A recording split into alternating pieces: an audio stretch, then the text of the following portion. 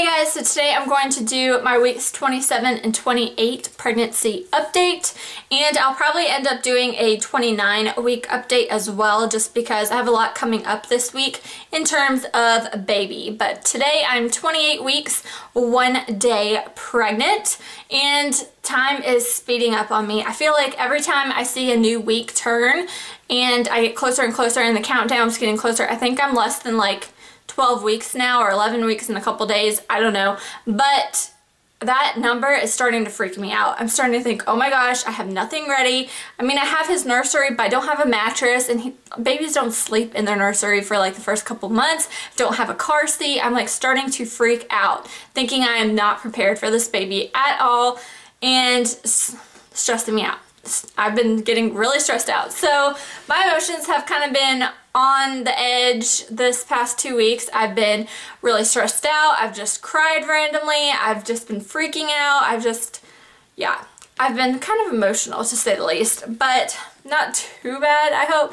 I don't know, there's just some random things. So let's just put it this way. We, um, if you have, haven't already seen, I did like a baby haul nursery sneak peek video. I'll link it down below for you guys who are interested in seeing a sneak peek in our baby boy's nursery.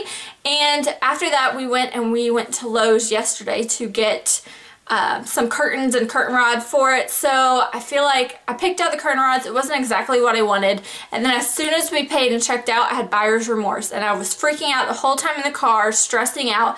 Oh my gosh, I got the wrong curtain rods. Really, curtain rod I was freaking out about.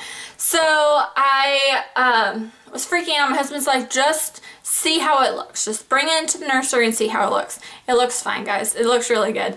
I mean, it's not like amazing, but it's not bad. So we are going to keep the curtain rods, but it's just like little things like that I'm starting to freak out about and like overanalyze and all that kind of stuff. And I know it's because like I want everything to kind of be perfect and fall into place and have everything ready, but you don't need much for when you bring the baby home but you do need a car seat. So I'm like stressing out about the car seat situation. So that is something I need to figure out and or buy in the next couple weeks really soon. Um, some other kind of symptoms other than just like moodiness and stressing out, emotional kind of stuff. Um, my stomach has definitely been growing more. I've been noticing my stomach is getting more itchy. I definitely feel more pulling on my stomach or stretching. Um, tightening, but not like a Braxton Hick or like contraction, anything like that. But it's definitely been a little bit more tightening and itchy. Um, I definitely have had like more of a stuffy nose the past two weeks. I don't know if it is a symptom really of pregnancy or what. I haven't had a cold or anything like that, but I did notice my nose was stuffy and then another kind of funny symptom is it is hard to get in and out of booths at a restaurant. So you guys know like you can have a booth or a table. I am now picking table or I have to be on the end of the booth because this belly cannot slide into a booth anymore, especially the ones that you have to go around a corner.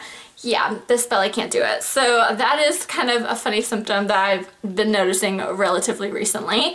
Um, let me show you guys the bump and then I'll get into other things with the baby like labor classes and stuff like that. So this is, see if you can see, this is the bump at 28 weeks.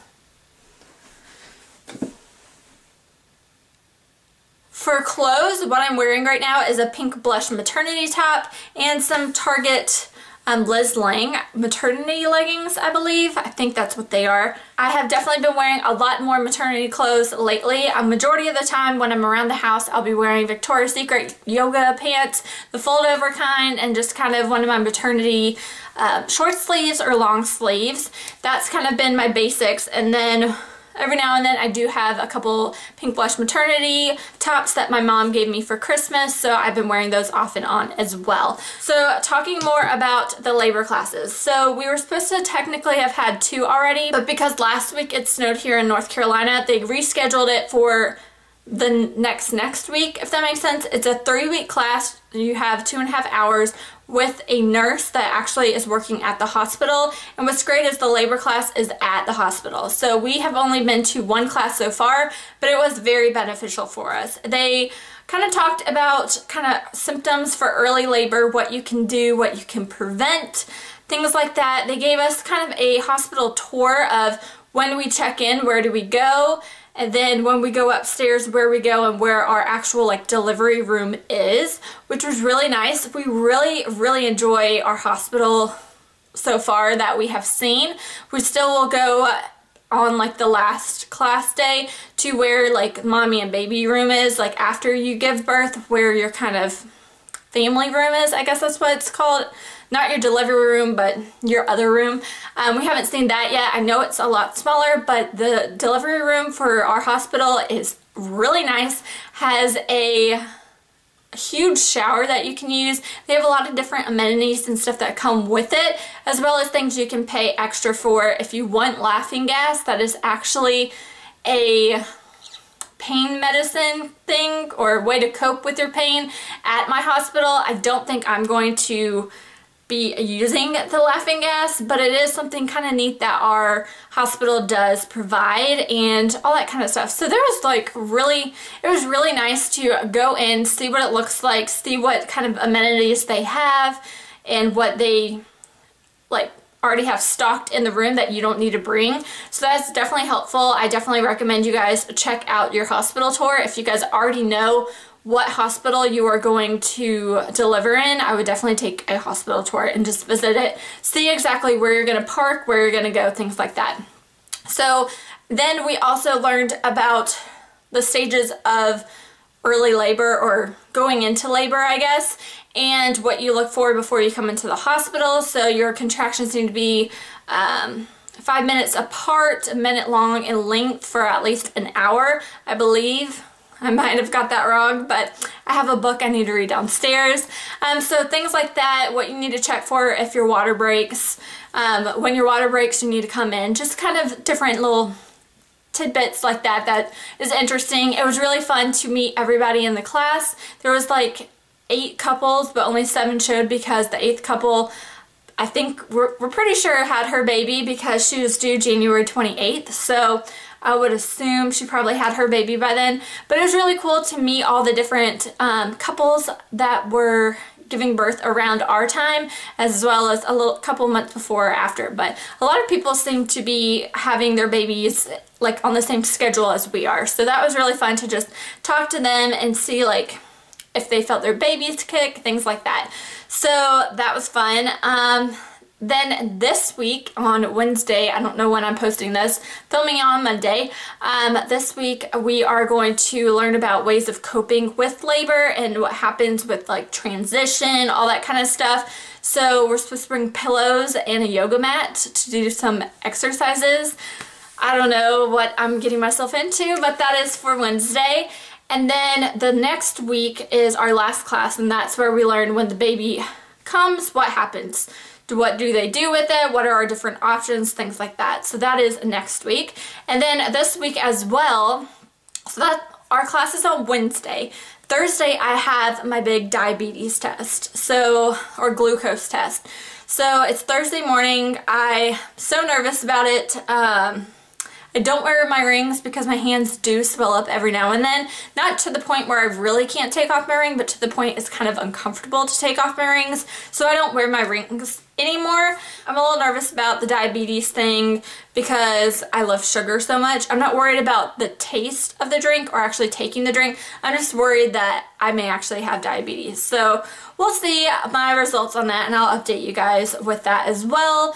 And of course, Wednesday is my food truck day where I have my favorite cupcake food truck coming and I really want a cupcake, but I figured having a cupcake the night before you take a glucose test, probably not the best idea, but I'll get it to go kind of thing and eat it after if I don't have diabetes.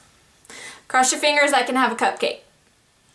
So then on Saturday, we have another baby class. We have the breastfeeding class that is offered by our hospital and um, me and my husband will be going to that. It's about a three hour class in the afternoon, so we're excited for that as well. So that is kind of what is going on this week. There is a lot of stuff baby-wise happening.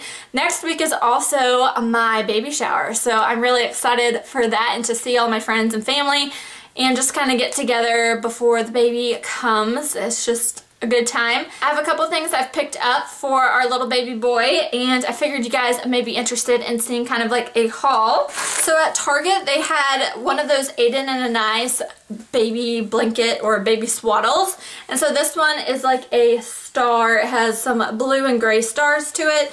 I love the way this looks and feels. I think it's a muslin one.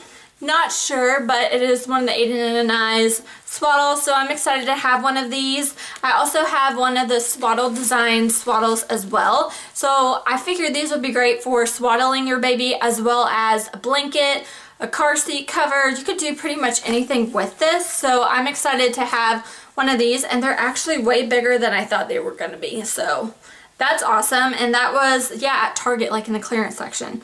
Then we also got a curtain for the window. We got one of those like blackout kind of curtains. So we got that. It's kind of like a tan navy with some white in there and then some brown curtain rods. Then from Target we picked up the Nuby Icy Bite gels or Icy Bite keys, keep soothing teethers.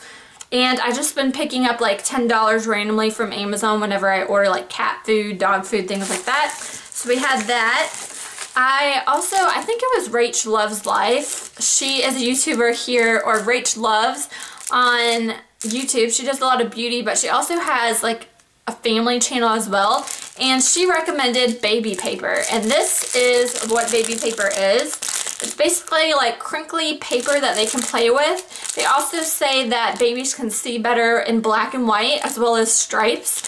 So I figured this would be fun to hand to him and have him kind of play with. He can chew if he wants. I believe this is machine washable. Yep, wash on gentle cycle with light colors and you can tumble dry it. So I thought this would be pretty cute. I think it was like two, three dollars. Then I picked up a baby brush and comb set figured when he has his little baby hairs that I'll be able to brush it with this. I don't know if this is like a really good brush or anything, but I found it and I thought, what the hey, I'll pick it up. It was like a couple dollars as well.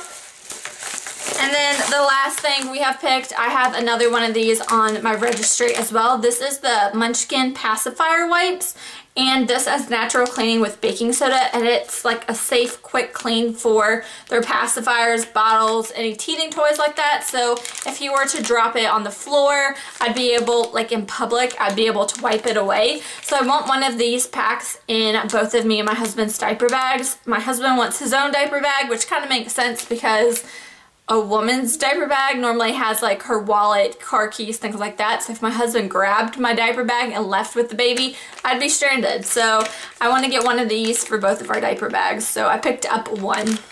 But yeah, that is kind of my update for weeks 27, 28. Overall, I've been feeling pretty good. I have been getting more recently tired. Just I feel like I'm just so exhausted. I'll sleep in and then I'll wake up and just want to take naps and stuff all day. I've just been getting more tired.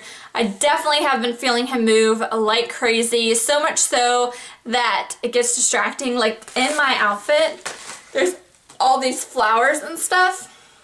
So like while I was working today, I was like typing, right? And all of a sudden I see like this flower move. And I'm like, I know it's him kicking and moving around in there, but it's so weird that now I can see my stomach do the wave or just kind of twitch. It's just, pretty cool but pretty weird at the same time. So he has definitely been moving like crazy.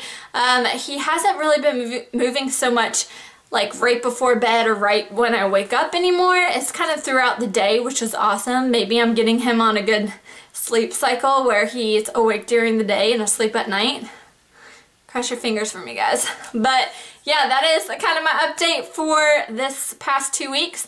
I do plan on updating you guys next week on just kind of all the stuff that goes on for the rest of this week. I was debating on doing this more towards the end of the week, but I'll just fill you guys in next week. So thank you guys so much for watching. Be sure to subscribe to stay up with more updates on this little one and my pregnancy, and I'll talk to you guys in my next one. Bye!